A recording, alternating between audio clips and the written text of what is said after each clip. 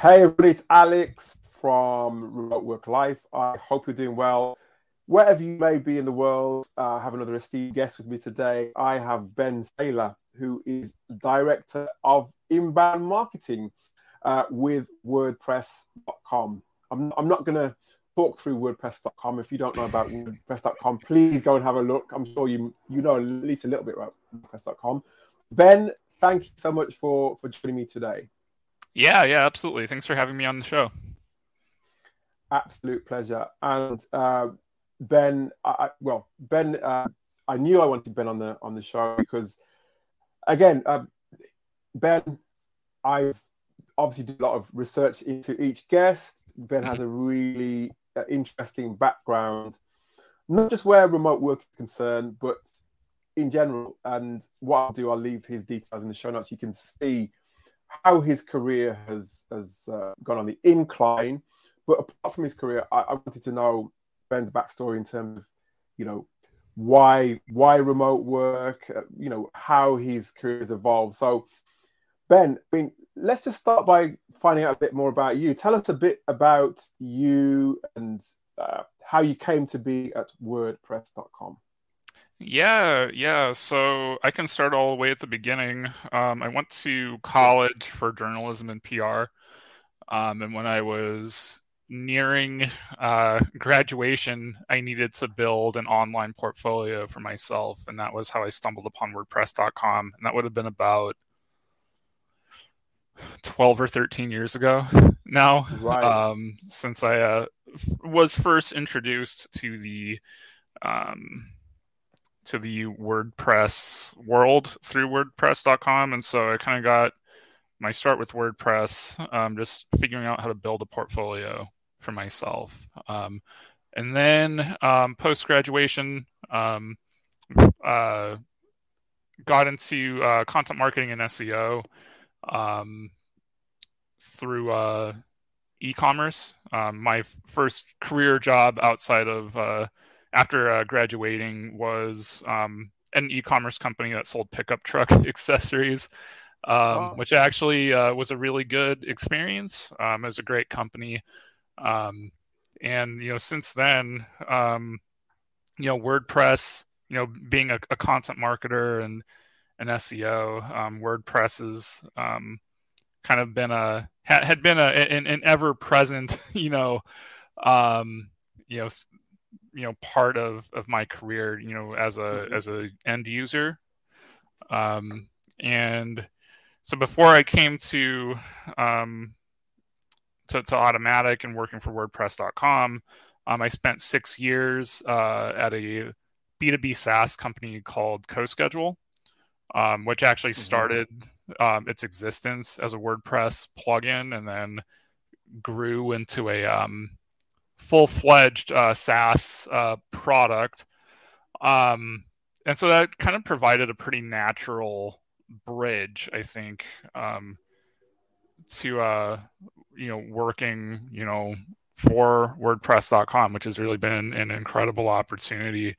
Um, definitely, it's definitely a dream role. you know, not one that I mm-hmm. ever thought that I would um, it's it's not an opportunity that I, I ever thought I would have, you know. Um, and so been here for about a year and a half now, and uh, yeah, it's been great. Yeah, I WordPress actually because my background is I've done some SEO myself, and I have WordPress to thank. Although the other side of WordPress, WordPress.org, but I have right. WordPress to thank um, for enabling me with my my career to make a transition into um, into SEO because like you, I, I, I put online some of the projects that I've been um, working on using uh, WordPress to uh, so that people could see what I was doing and having all those great plugins. And I, CoSchedule is one of the plugins that I that I used as well. Oh, very cool. Content distribution. So yeah, lots of actually lots of similarities there as well in terms of um, the career path. And you you mentioned uh, WordPress being a, a, a dream role for you as well. Um, and it, another question I want to ask you in, in terms of uh, the, the, role, I suppose, the, the, the, evolution of your career is um, because I mean, different people search for roles in different ways. Some people mm-hmm. will um, use job boards. Other people will use their networks. Other people will, uh, you, you know, uh, get promoted internally, etc., etc. Mm-hmm. What What was your method? What was your main go to in terms of getting your role actually with, with WordPress and generally speaking as well?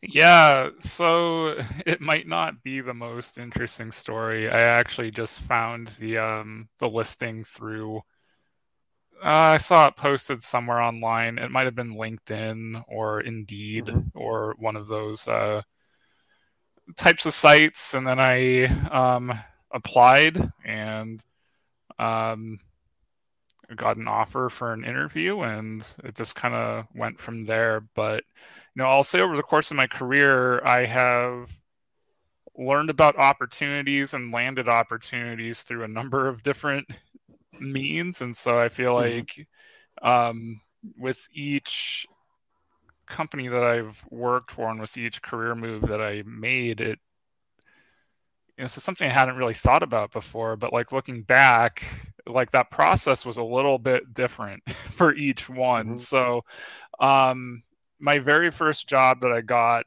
um, in the content marketing world, uh, I I almost never applied for because okay. like the, the way the story went like i was like pretty desperately job hunting and um i was just browsing craigslist at like one mm-hmm. in the morning for just like just to uh just out of curiosity just to to see you know like okay like i'm gonna do one more search and just check out what's on here and then i'm i'm, I'm gonna go to bed and i found this uh this company um, in, in, my area that I had never heard about before that was advertising a um, web content job and that was something that I had never heard about. I didn't know anything about SEO or content marketing, but when I looked at the description, I was like, "Oh, this actually sounds exactly like what I'm looking for." Mm-hmm. Um, even though it was describing a bunch of things I had never heard about before. um, so then I, um, yeah, just like sent off an application. Um, and I was actually living out of state. Um, I was living with my parents. Um, and uh, like like elsewhere and i was kind of looking to move back to like the the area where i went to college and so uh, they got back to me like not too long after I applied, and then I just bought a one way ticket, you know, for the uh, interview. And I was mm-hmm. like, well, you know, I don't really want to live at home anymore. So I guess if this doesn't pan out, I'll figure something else out. But but it worked. Nothing basically. Yeah, yeah, yeah. There there was no plan B really. Um, so and then it ended up working out. And then after I was there for a couple years, I got a job uh, working at um, working at an agency. And the way I got my foot in the door there was um, their uh, like director of content ran like a meetup group locally for um, for like content marketers and um, marketing professionals, and so I regularly went um, to to like these uh, meetup events, and that was how I got to know like their director of content. And so when they had an opening, um, I kind of already had like a warm relationship mm-hmm. with mm-hmm. with them. Um, and so that ended up being a uh, a pretty powerful. Um, it, it, it was a good in to uh, a good way in. Yeah, yeah, yeah to get it to get an interview there. And then after I was there for a little over a year and a half, um, at CoSchedule, uh, Garrett Moon the CEO and one of the co-founders found me on LinkedIn and sent me a message and was like, "Hey, like we're uh, building some cool things, and you know we're looking to hire for a skill set similar to yours, and it's just curious if you'd uh, want to take a phone call." And I wasn't really looking to move on. wasn't really sure that I wanted to leave. Um, like like an agency working with you know enterprise companies well a mix of small businesses and enterprise but it was it was it was stable right And I didn't mm-hmm. know if mm-hmm. I wanted to leave stability for the startup world or anything like that. But I kind of figured like if the CEO of a company reaches out to you directly, at the very least, you can um you, you can take a phone call. Like you've got 30 of minutes course. for a phone call. Um, yeah. And so yeah, so I took a call and it took about five minutes for me to be sold on the idea of um, uh, applying for that role. And so that was kind of how that whole process started. And then I was there for six years. and then, um, yeah, and then um, worked my way up from a content writer to a director level role. And um, yeah, and that, that was how I got to WordPress.com. So each step along the way, like it's been a little bit different. And I think that's interesting because um, I feel like I hear all kinds of advice and I've heard all kinds of advice about how like how how do you get your foot in the door in marketing like how do you move up like what's the best way to apply for jobs and like some people say like well excuse me like well don't even bother with like things like linkedin or indeed or like oh you have to like know somebody and you have to network and I, I would say, like, in my experience, I think there's a lot of different ways that you can get a foot in the door, and there's a lot of different ways you can move up, and there are a lot of different ways that you can approach, like, a, a job search. And um, I, I don't know, like, my career definitely hasn't followed a linear path, and there was no prescribed playbook that you could follow, you know, necessarily mm-hmm. to duplicate all those steps. But um, I think if there was maybe, um, you know, I think if there's a common thread between all of those experiences, though, I would say that I just really kept an open mind toward new mm-hmm. opportunities, mm-hmm. um, put in the work, demonstrated what I could do.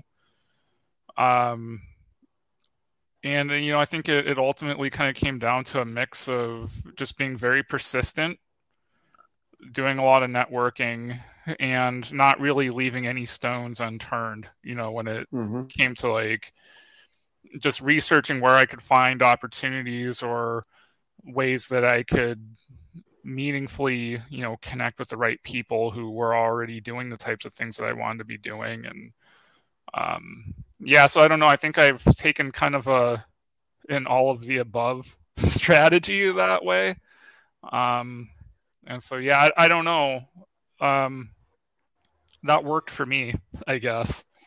Yeah, it, it sounds good. I, I think uh, Casey Neistat. I don't, know if you've heard of Casey Neistat. The, yeah, yeah, uh, yep.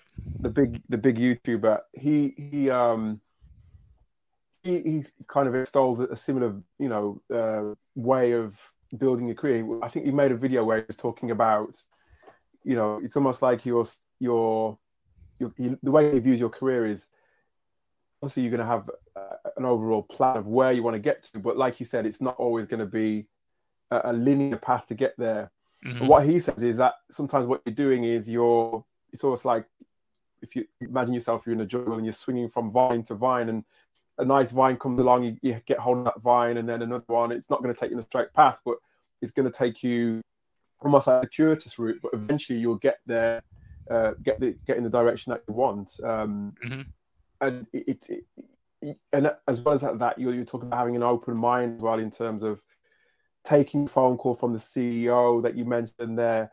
What was it about? Because you mentioned, you know, there was something about what he said or something about the particular company that you liked. Mm-hmm. What was it about the company that you liked which convinced you to, to sort of learn more about the job and eventually take it?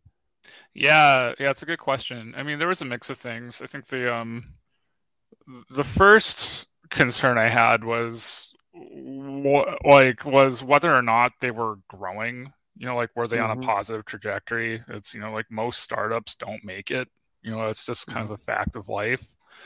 Um, and I think when you enter the startup world, you assume a different kind of risk, you know, than you do when you're um, maybe at a company that's more established, um, maybe has more of a track record and uh, maybe a little bit more clear, um, you know, outlook for its future. And so that was the first thing that um, that that he addressed. And then from there, a lot of it was just about um, the nature of the work itself and you know some of the upsides to working in a startup environment and you know having the ability to you know take more ownership of things get your hands dirty and move faster and mm-hmm. just like test and iterate and things like that you know because there's also a fact of life that when you're at an agency you're you're kind of a you're a set of hired hands um mm-hmm. and a, a client might pay you for your your expertise or your your skills but um you're always working on behalf of somebody else and it's always um it's a little bit slower you're not quite as close to you know um as many things as what you are in a startup. And so um and i just kind of like thought that through and i was like yeah you know what? That sounds like a really good opportunity to grow. And so i would say that like again um in that situation and i think in all others throughout my career every time i've made a move it was in pursuit of an opportunity to grow um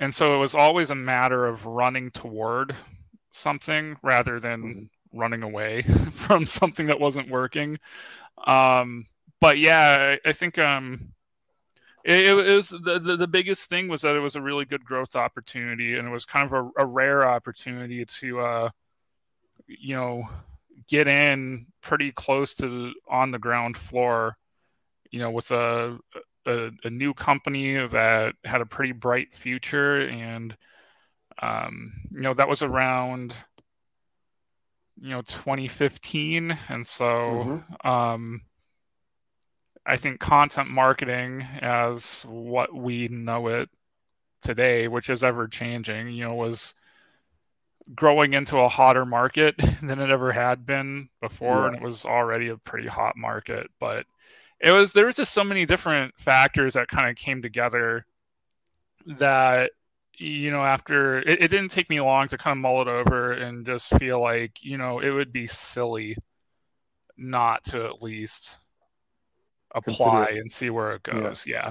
yeah. Yeah and in terms of the um the remote aspects. so obviously wordpress.com uh, remote. Was was CoSchedule remote? And was that was when did that become consideration for you? Or, or yeah. Yeah that's a yeah it's a good question. So um no CoSchedule at the time was not a remote company. I think we had when i joined we had one person who worked remote and then um we actually they ended up leaving and then it became a policy actually for a while that there would be no remote hires. And there's a couple of reasons for that. One at the time and keep in mind this was like 2015 2016 mm-hmm. um, part of the rationale for that was there was a strong belief that people needed to be co-located in you know one uh, office, or in CoSchedule's case, we had two offices.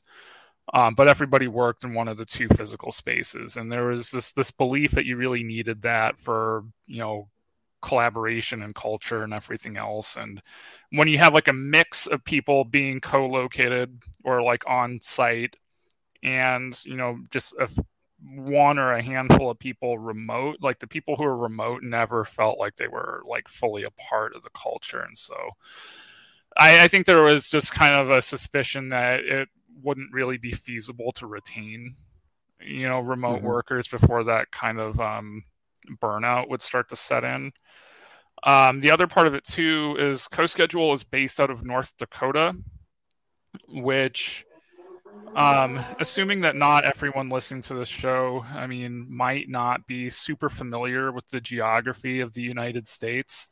Um, North Dakota is a very low population state.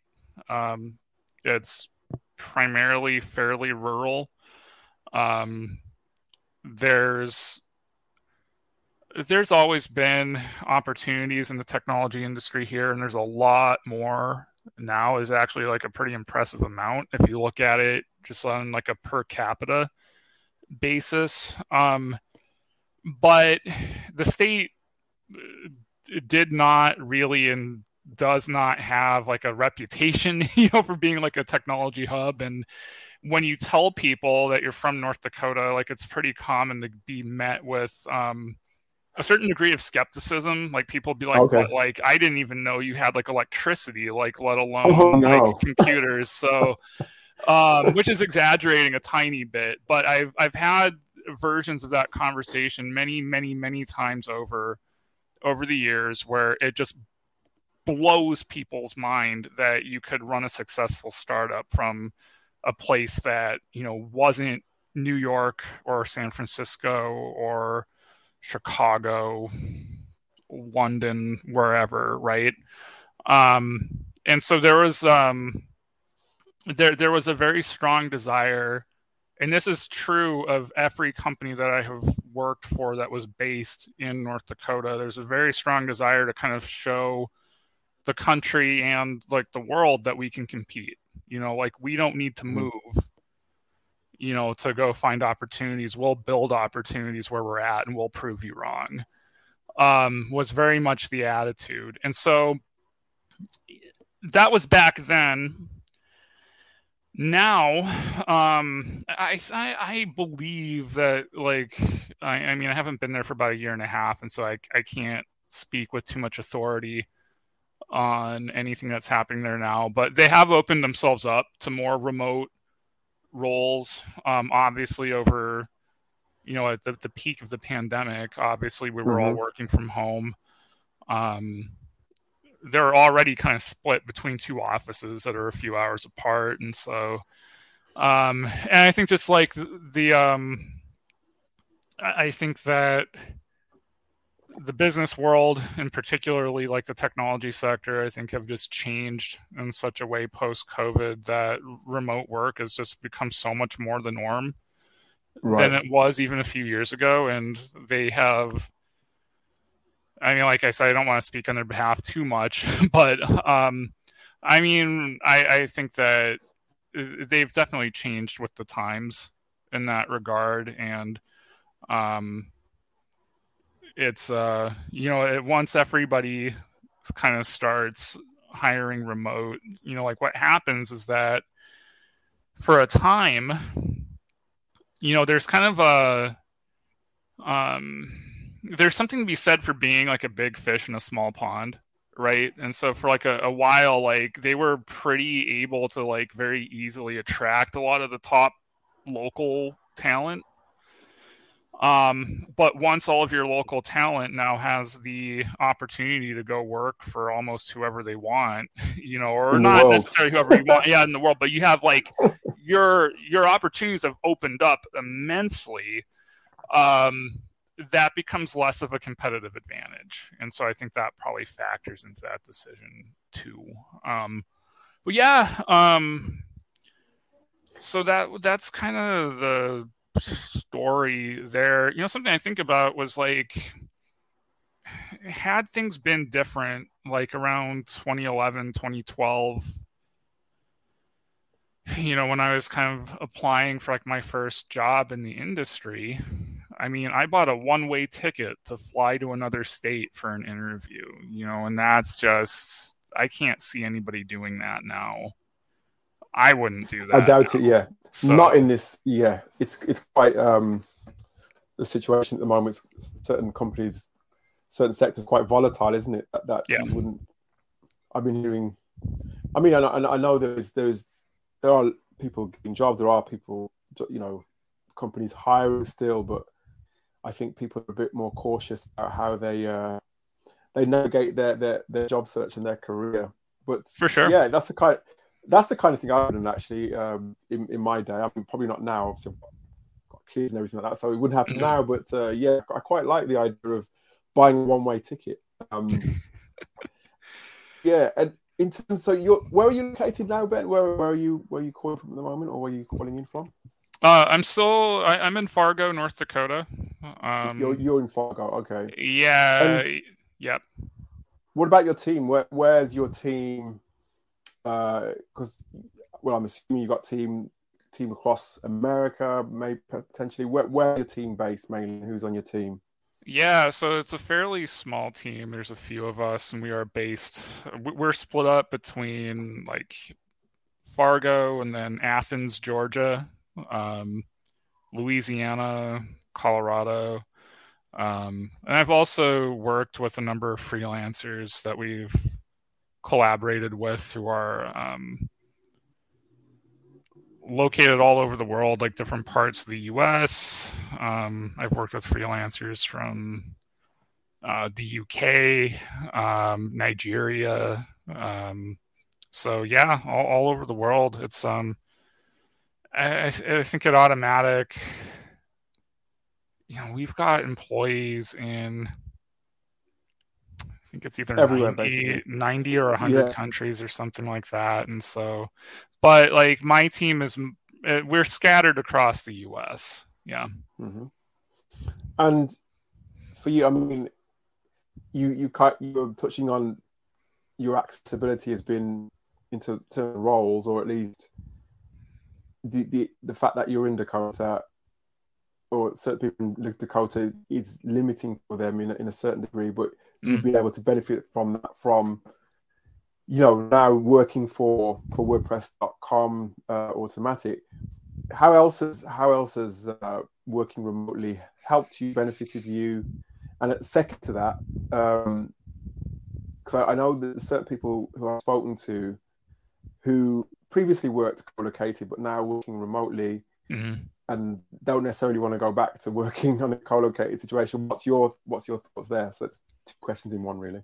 Yeah, yeah, for sure. So I think for how it's benefited me, it's I mean, it's created opportunities that I would not have had access to unless I was willing to move, which I don't really want to do at this point in my life. So, um, so I think that's the biggest thing. It's, um, you know, if if taking a job with a company like Automattic, and then like it's different with Automattic because Automattic's always been all remote.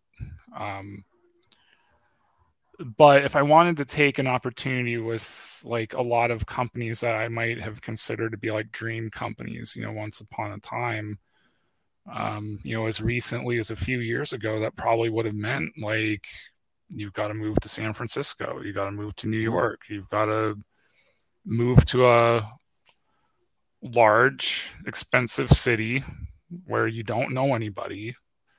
And there, there's just a lot of um, trade offs there that would have been difficult to rationalize.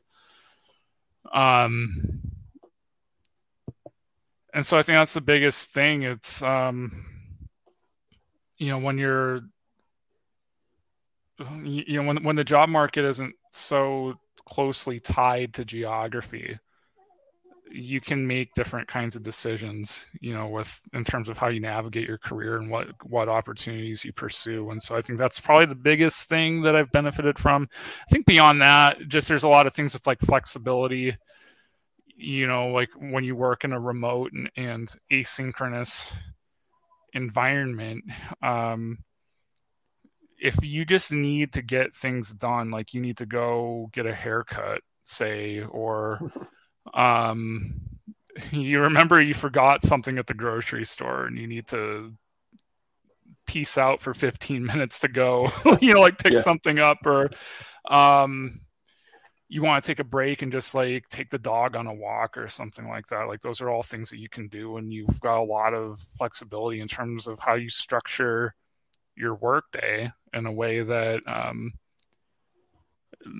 can make your workday just kind of better fit with everything else you know that you have going on in in your life. And so i still keep pretty regular hours because i like having a somewhat traditional structure but um you know it's i i know there are some people that work better early in the morning and so they're up super early like getting their workday started and some people are night owls and so like I'll get pings from them at like 11 p.m. you know not that like they expect an immediate response it's just um You've got your notifications on.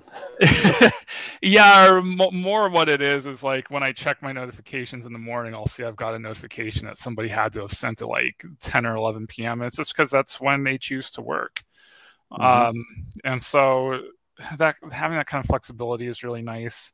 Um, in terms of like whether or not I would ever want to go back to like a co-located, you know, type of work environment, um, I don't think so. like, I don't have I any. Actually. yeah, I don't have. Um. Yeah, I don't know. No, I, I never wake up in the morning I'm just like, God, I wish I could go to an office. You know. um. There are I have I have like I do like go work from coffee shops and things like that and um there's uh some good co-working spaces in my area too um that's something else that's a, like a nice benefit is like you can just change your scenery every day yeah, if you wanted to yeah. so um yeah. that's good too just to kind of uh not spend like my whole life in my house mm-hmm. um so even though they think that we do that people think that because you work remotely you spend the whole the whole life you know in fact, you don't even get out of bed. Maybe you've got a laptop in your lap and you just, uh, yeah, yeah. Right. And just like a coffee maker, like right next to your, your like bedside. Yeah. And like, yeah, I think that those, I, I kind of wish that those stereotypes and cliches would go away, but um, I don't know. Uh, I I still like I'm up pretty early every day. I still make myself presentable. I definitely mm. do hmm. not hang out in my pajamas just doing whatever all day i guess. I would actually go insane. Like i i couldn't live that way. So um but i think that is there is like a good point there so i think that for anybody who is considering um you know eh, for anyone who is considering like switching to the the remote work uh, lifestyle full time, um, you have to know yourself well enough to know whether you can be disciplined enough to mm-hmm. um, you know, just get your stuff done and be reliable and be accountable and not let yourself go you know just because you don't mm-hmm. have like a physical space where people are going to see you that you have to go to every day that's a pretty fundamental thing, like a pretty basic thing that you always hear when people talk about like remote work. But it's really important not, not to overlook the importance of um uh, of that. You know, if if you kind of see it as an opportunity to um I, I don't know if you see it as as an opportunity that you think you can abuse, you probably shouldn't go for it. Yeah, definitely and I like the, uh, you're a bit like me in the sense that I like to change my scenery. And in fact, I was, I was at the office of one of my, my friends just the other day. Mm. I was just waiting for him, and I was looking around the office, and it was um, there was music, like really loud music, and I was thinking to myself, I couldn't. As much as I like music in the background, I was thinking mm-hmm. myself, I couldn't work here because the music would just interrupt me. And then the, the desks, it was just an open planned office yeah. where you had sort of pods, but each pod was face to face and very, very close. You could each person could hear the other person speaking, and they had their headsets on, but it was very loud. And then there were people. It was just completely, as, as far as I could, could see, it was it, it, wasn't an environment that would suit me. I mean, it, it suits mm-hmm. some people, and I love that, like you said, that flexibility of being able to change your environment if you want to put music on, you can put music on. If you don't want to put music on, if you want to go to a coffee shop, if you want to, you know, work from home, all of these different things, which makes remote work such a uh, benefit to so many people, you know. Mm-hmm. Um, so that's that's me. And, but um, another question I wanted to ask you as well, because obviously you're managing a you're managing a remote team, but you're managing on, a, on an asynchronous basis, and um, there's lots of people still trying to figure out how best to do that. I know there's different ways of doing it, but how, how do you make it work for you and your team? Yeah, so I think um, I'm fortunate in the sense that I think that because Automattic has always been a remote company, we have a lot of good um, tools and infrastructure in place to make it pretty easy, or not mm-hmm. to say easy, but um, we have a lot of processes and things in place that are already existing that just work really well. Um, and so you know we have um i mean we have slack obviously and then you know like zoom and google meet and things like that that make you know for times that you do need like face-to-face conversation um it's pretty easy uh, i think in terms of management um the one thing is like you have to be you have to be a little extra diligent about checking in on people, not necessarily in terms of like looking over their virtual shoulder to see what they're working on, but more just to mm-hmm. like kind of like see how people are doing because you can't physically witness someone struggle, you know, and it's not as easy for somebody. Yeah.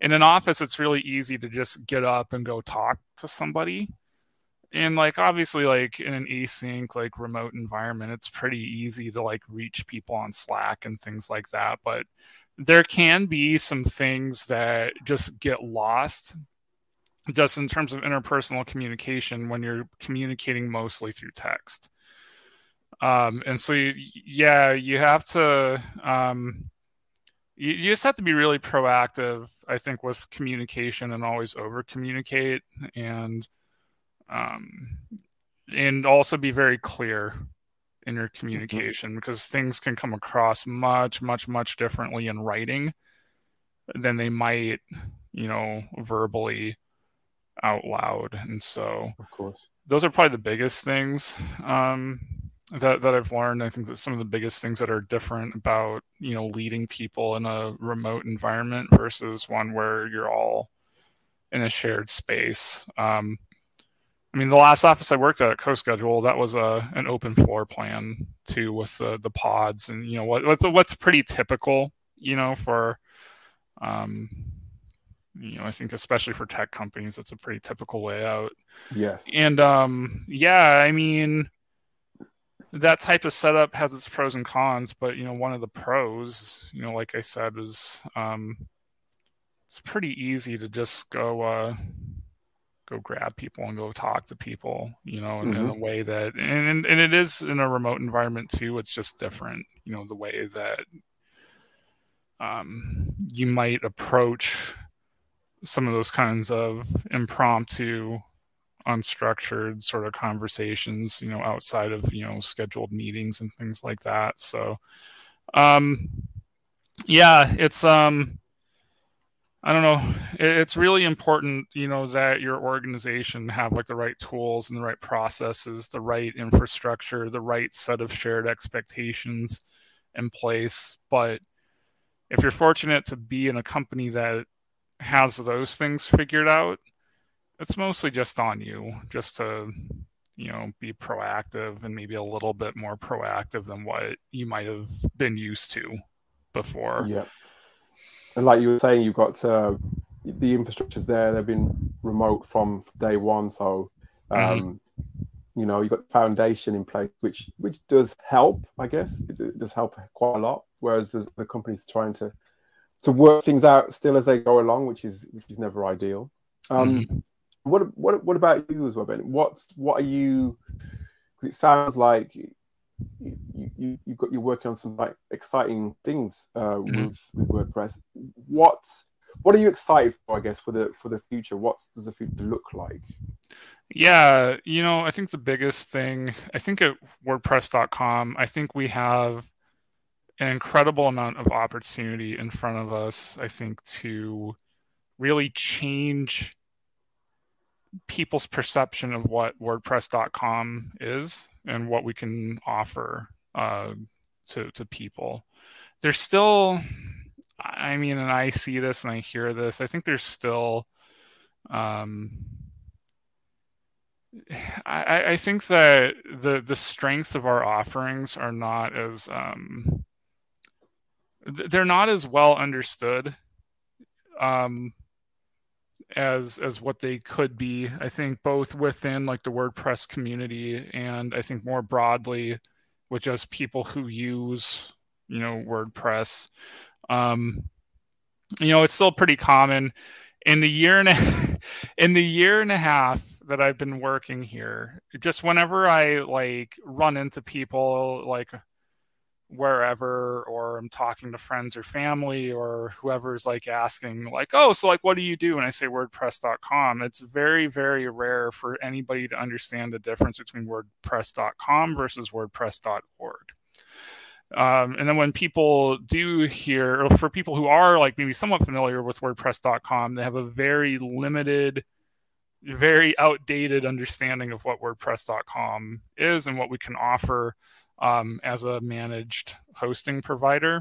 Um, and so that's kind of like the, the core challenge, I think, for us marketing wise right now. Um, but the sky's the limit. You know, I think um, what's most exciting um, to me about working at Automattic and working for WordPress.com specifically is there's not much of a ceiling that can be mm-hmm. placed on what we can achieve. And um, when when your potential is I don't know if this sounds cliched, but when it's like it's actually almost limitless, mm-hmm. you know, in practical terms. Um, you know, I think what's exciting about that to me is like we'll never be done. Um, right. You know, and um, I think on top of that too, just the um, something else that's exciting to me is having the opportunity to work with an organization that has that that makes such a, a wide global impact. You know, like mm. on the world. You know, on you know on the internet in general you know on you know um and that, that just has like a very strong like mission and set of values that really resonate pretty deeply with me personally it's um you know there's a lot of things about the uh the the open source ethic and advocating for the well-being of the open web that I think especially right now with a lot of things that are going on, that's um that's very motivating. And it's um yeah, I mean like I said earlier, it's not an opportunity I ever thought I'd have, you know, but but but here I am. So I'm just excited to yeah. get the chance to make the most of it and um see what what kind of dent I, I can I can make in the world. But yeah pretty significant. Yeah, I think you'll make, you are, and will make a significant dent. Like you said, I think as much as I'm on the, I, I start with WordPress.com, but I'm on the WordPress.org side of things now. But yeah, yeah, the sure. ethics and the values, are, you know, are there, and I think that's why I've stuck with WordPress for such a, a, a long time. The open source element as well was a big thing for me, and the, just the, the flexibility, the the community around it as well was something that's is, is really kept me kept me involved with with WordPress.com too. So it's good to hear that you know mm. it's not just it's also within the actual workings of how you work as well. And yeah, it's it's I'm like you. The ethics and the values of whoever I work for are always important to me as well. So love that. I love that. But um, it's been enlightening. It's been really interesting. I mean, I've got as ever, I've got so many more questions I'd love to ask, but I know you're busy. You have a busy day ahead as well. I just want to say thank you for for joining the podcast. We'll be keeping an eye out for, for where things take you next, and uh, uh, I just want to wish you all the best going forward. Yeah, yeah, absolutely. This has been a great conversation. Um, definitely an, an honor to be invited to come on the show, and um, yeah, I, I really appreciate um, this opportunity and, and, and all the support, and um, yeah, if anybody listening to this episode, if they have any questions or just want to reach out, um, I'm pretty easy to find on LinkedIn. So, um, yeah, definitely feel feel free to get in touch. That's really good because I think uh, it's it's nice to know that you know you you open that channel because I think there are lots of people may, that may have not just from the podcast, but it's good to know that there's that connection there. So what I'll do is I'll leave your your details in the show notes. But no, Ben um, uh, Sailer, uh, director of inbound marketing for WordPress.com. Uh, it's been great to speak to you. Thank you. Yeah, thank you as well.